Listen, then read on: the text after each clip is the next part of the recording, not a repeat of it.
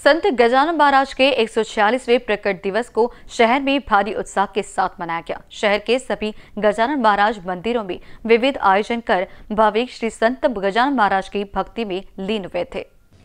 शहर के professor colony स्थित संत गजानन महाराज मंदिर में 25 फरवरी 2024 से 3 मार्च 2024 तक संत गजानन महाराज प्रकट दिवस सप्ताह का आयोजन किया गया।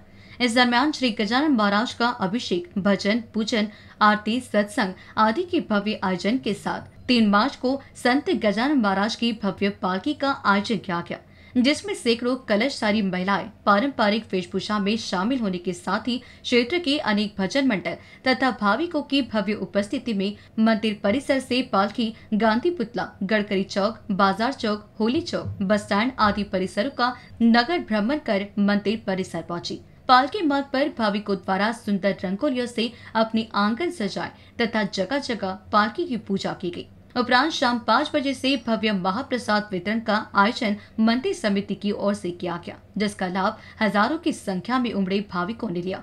आयोजन के सफल तहत डॉक्टर विजय धोटी, पूर्व नगर सेवक तेज सिंह साहू डॉक्टर नितिन पोटोडे, दीपक कटारे, उत्तम कावसे पप्पू पोफली, प्रशांत नाड़ेकर, गणेश कटारे आदि ने परिश्रम लिए। एनबीसी न्यूज़ के लिए साउंदी से किशोर ढूंढेली की रिपोर्ट।